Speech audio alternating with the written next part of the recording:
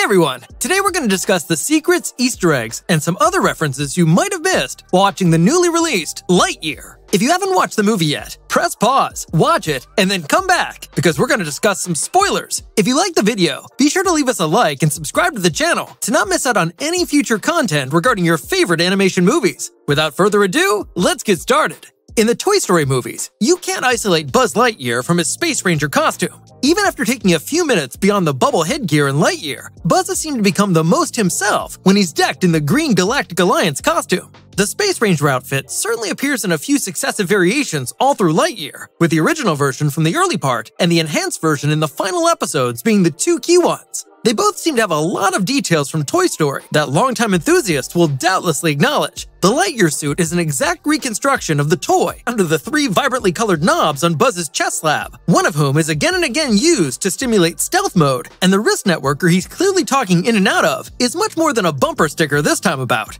Or, at the very slightest, the latest design shown at the end of the movie is. The slightly older outfits have a forearm beam of light and a big red tab rather than a switch on its front, which is brought to light to be the despicable surrender button. Though by the end of the movie, Buzz and his squad have all succeeded in getting their fancy new Space Ranger attired, something that every kid in 1995 desired.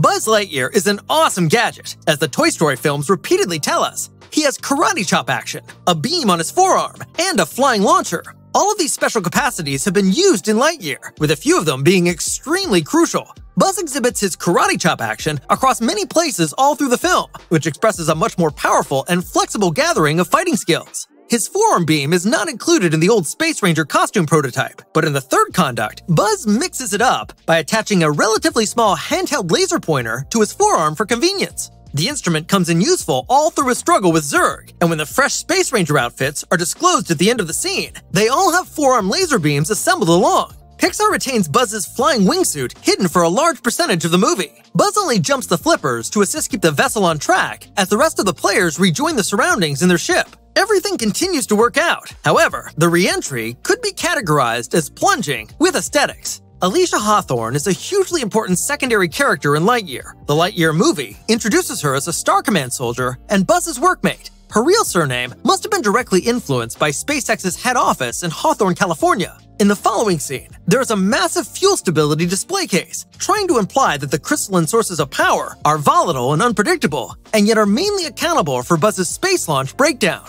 Pixar is well known for parodying Star Wars in its Buzz Lightyear narratives. Zurg is primarily a big, ridiculous magenta Darth Vader with the designation of Emperor Palpatine. And if you started to think Lightyear was the final stage of Buzz's Star Wars quotes, you'd be totally incorrect. The big one in Lightyear is much less evident than those in the Toy Story movies, but that should be noticeable to fans of both installments. Sox, Buzz's cyborg cat buddy, can converse with multiple operating systems via connector on the edge of his tail. When he commences hacking, his head starts spinning 360 degrees, and he begins in earnest to mumble beep bop beep bop repetitively. It's hilarious, if simple, choke, and it appears to be a direct link to R2D2's own cybercrime behaviors in Star Wars. While R2 may not be the only famous sci-fi machine to decrypt into computer networks, how Sox appears to be going about his job and the noises he creates are virtually identical to the robot in specific. Seems like each and every galactic hero probably requires a robot partner with a USB connection.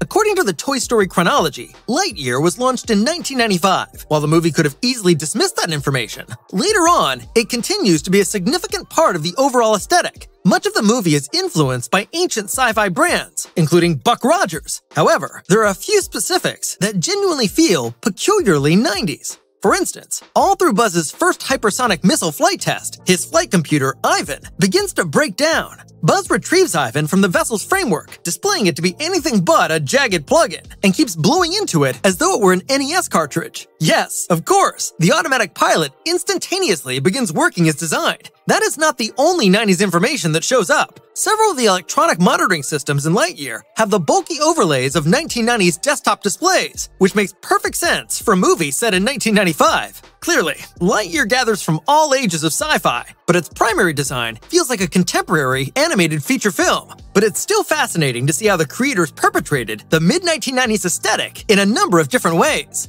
There are a lot of dialogues in Lightyear that are elevated straightforwardly from the Toy Story blockbusters. Some of them seem to be evident to anyone who has seen the earlier movies. For instance, at the beginning of Lightyear, while Buzz and Alicia are investigating the alien globe, Buzz publishes a task log trying to comment on the scenery, monitoring that the landscape appears to be uncomfortable. Of course, in the initial Toy Story, he says exactly the same thing while strolling about on Andy's bed. There are so many of these little reference points all through Lightyear. Masterpieces like, I'm Buzz Lightyear, I'm always sure, and Not Today Zurg will actually stand out to everyone who pays heed to them, and they add a soft finish to the movie by integrating it with Toy Story. It's interesting to see how the toy Buzz takes inspiration and personality characteristics from its fantastical self, and the innumerable buzzwords are a great way to showcase this.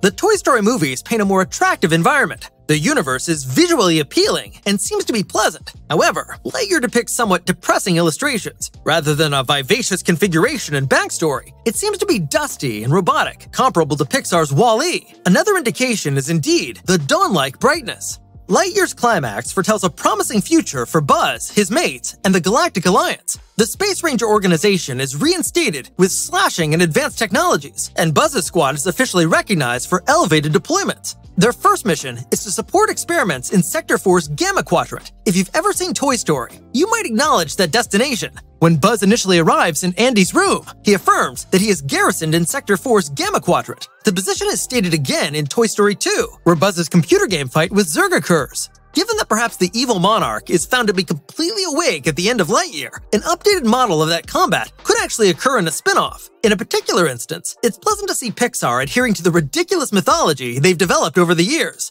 Because the Buzz toy has all of his fantasy self's remembrances, it logically follows that he would have a deep relationship with Sector 4's Gamma Quadrant.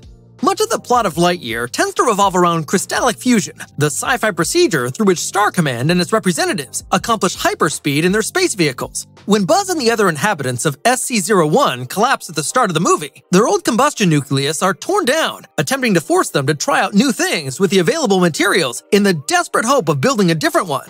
It's a decades-long method that entails Buzz falling short of multiple studies with crystallites that are just fractionally off. Eventually, his machine partner, Sox, emerges with the perfect workaround, leading to the establishment of a comprehensive crystallic fusion center. Of course, crystallic fusion was always a core component of Toy Story mythology. In the original movie, all through Buzz and Woody's first discussion, Buzz presents a variety of questions to his prospective best mate, choosing to believe himself to have arrived on an alien world. In the naive hope of restoring his vessel, he ponders to Woody about readily accessible forms of energy. Do you still use carbon fuels, or have you unearthed crystallic fusion? He asks of Woody, who retorts, completely baffled, we've got double A's. In the majestic framework of factors, this is a small thing entombed in a passing remark, so it's soothing to see Lightyear remain committed to the core principle in its own narrative.